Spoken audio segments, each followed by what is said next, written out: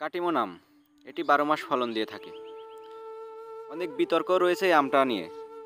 তো অনেকের মন্তব্য যে জাতটা ভালো না। আবার কেউ কেউ চাষ করে কিন্তু অনেক টাকা আয় করছে এই আম থেকে। তো কীভাবে চাষটা করতে হবে? হয়তো এই বিষয়টা অনেকেই, অনেকেরই না জানা। তো কীভাবে চাষটা করলে ভালো ফলন পাবে? এই বিষয়টা জেনে শুনে যদি কাটিমন আম চাষ করা যায়, সেই ক্ষেত্রে কিন্তু আপনার বাণিজ্যিকভাবে ভালোভাবে ফলন পাওয়া যায়। তো অনেকেই অবহেলা করে চাষটা করে, যার কারণে বাগানে পরিচর্যা করতে পারে না। এই জন্য কিন্তু আপনার গাছে ফলন কম আসে এবং আপনি ক্ষতিগ্রস্ত হয়ে যান। তো যে চাষটা আপনারা করবেন, সেই চাষটা যদি মনোযোগ সহকারে করতে পারেন, তাহলে আশা করবেন সেখান থেকে আপনি ভালো কিছু আশা করতে পারেন। আর আপনার যদি চাষের প্রতি মনোযোগ কম হয়ে থাকে, সেই ক্ষেত্রে কিন্তু সেখান থেকে আপনি ভালো জিনিস আশা করতে পারেন না। তো চুয়াডাঙ্গা জেলার ভেতরে কিন্তু দীর্ঘদিন ধরে চাষ করে আসছে কাটিমন আম। অনেক কৃষকের কিন্তু কাটিমন আমের বাগান রয়েছে। তো এখন অফ সিজনে আপনারা দেখতে পাচ্ছেন আমরা যে বাগানটিতে দাঁড়িয়ে আছি, পর্যাপ্ত পরিমাণের আম ধরে আছে। তবে রাজশাহী, চাঁপাইনবাবগঞ্জের মতন যদি প্যাকেট সিস্টেম চুয়াডাঙ্গার চাষিরা করতে পারতো, তাহলে আমি মনে করি আরও বেশি আর্থিকভাবে মুনাফা তারা বেশি পাইতো। কারণ এখানকার যে আমগুলা এইগুলা ব্যাগিং করার পদ্ধতি না থাকায় আপনারা দেখতে পাচ্ছেন যে আমের উপরে যে স্পটগুলো এইগুলা কিন্তু ব্যাগিং করলে কিন্তু এই স্পটগুলো আর পড়তো না।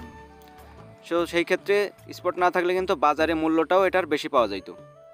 আর এখন যে স্পটটা দিছে, এটার কারণে কিন্তু আপনার বাজারে আপনার দামটা কম। তারপরেও বর্তমানে যে কৃষকরা আমগুলা বিক্রি করছে, এগুলা ষোলো হাজার, আঠারো হাজার টাকা মন তারা কিন্তু বিক্রি করতে পারছে। আর এই সময় আপনার পাক আম গাছে, এটা তো ভাবাই যায় না। তো অনেকে প্রশ্ন করে যে, আপনার কাটিমন আম ভালো নাকি বাড়ি এগারো ভালো?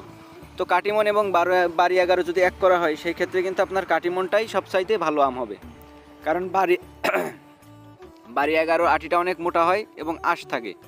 আর কাটিমনের ক্ষেত্রে আপনার কোনো আটিতে কোনো আশি থাকে না। এটা একদম পরিপূর্ণ একটি মিষ্টি আম। তো মিষ্টির দিক থেকে ভরপুর এবং অনেক সুস্বাদু আম হলো কাটিমন আর এটা বাণিজ্যিকভাবে অনেক ফলন দিয়ে থাকে।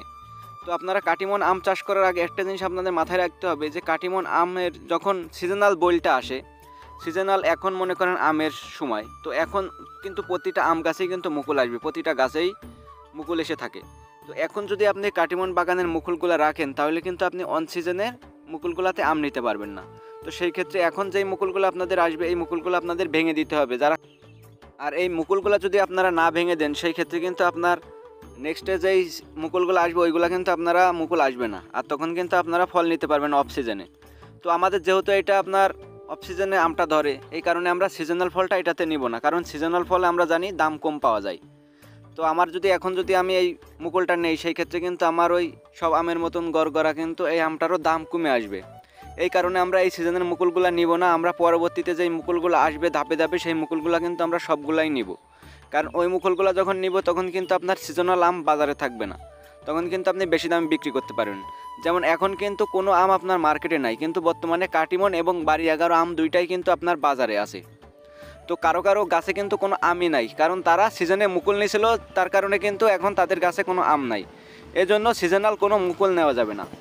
আর এটার পরিচর্যা বলতে, এটার যে পরিচর্যা, এটাতে ঘন ঘন স্প্রে করতে হবে। আপনি দেখা যাচ্ছে আম গাছ লাগিয়ে তুলেই কিন্তু এটাতে আম ধরবে না। আপনার গাছের যে পরিচর্যা, গাছের যে খাবার, এইগুলা কিন্তু আপনাকে দিতে হবে। তো আপনারা যখন চাষ করবেন, তখন যেখান থেকে চারা নেবেন, সেখান থেকে কিন্তু আপনারা পরামর্শটা নিয়েই চাষ শুরু করতে হবে। তারা যেইভাবে বলে আপনারা সেইভাবেই চাষটা করবেন। অনেকে দেখা যাচ্ছে চারা কেনেন, কোনো জায়গার থেকে পরামর্শ নেন না, আপনার নিজেদের মতনই আপনারা নিজেরা চাষ করেন। তো কিছু কিছু চাষ আছে নিজেদের মতন করা যায় না। যেই চাষটা আপনি কখনোই করেননি, সেই চাষটা যদি আপনি হঠাৎ নতুন করেই যদি নিজের মতন করতে চান, সেই ক্ষেত্রে কিন্তু আপনার সেখানে ক্ষতিগ্রস্তই আপনি বেশি হবেন। তো অবশ্যই এই চাষ সম্পর্কে আগে চাষির সঙ্গে পরামর্শ করে কিন্তু আপনাকে চাষটা করতে হবে। তাহলে আপনি সফল হতে পারবেন। আর আপনি যখন সফল হতে পারবেন, তখন কিন্তু আপনি আরও দশজনকে সফলতা এনে দিতে পারবেন। তো এই জন্য এই চাষটা করতে হলে আপনাদের শুধু আম চাষই না যে কোনো চাষ। যদি নতুন করে থাকেন, সেই সম্পর্কে আগে আপনার বিস্তারিত ভালো করে জানা উচিত, তারপরে কিন্তু চাষটা করা উচিত। তো এই কাটিমন আম কিন্তু আসলে একটি লাভজনক ফসল। তো এই লাভজনক এই আম চাষটা কিন্তু অনেকেই করে ক্ষতিগ্রস্ত, কারণ তারা বুঝতে পারেনি। তো আমরা চাই আপনারাও যেন না বুঝে চাষটা করবেন না, আপনারা বুঝে শুনে চাষটা করুন এবং আপনারা এখান থেকে লাভের মুখ দেখুন। আমাদের এটুকুই চাওয়া যে আপনারা চাষ করলে সেই চাষটাই যেন লাভবান হতে পারেন। আমরা কখনোই চাই না যে একটা কৃষক একটা চাষ করে সেখান থেকে ক্ষতিগ্রস্ত হোক। কারণ একটা চাষ করতে অনেক পরিশ্রম করা লাগে, অনেক শ্রম দেওয়া লাগে এবং অনেক আশা নিয়ে একটা কৃষক একটা চাষ করে। তো আপনি একটা আশা নিয়ে চাষটা করে যখন আপনি নিরাশায় ভুগবেন, তখন কিন্তু আপনি আর জীবনেও এই ধরনের চাষ করতে যাবেন না। তো আমরা চাই যে আপনারা সুষ্ঠুভাবে জেনে বুঝে তারপরে চাষটা করুন।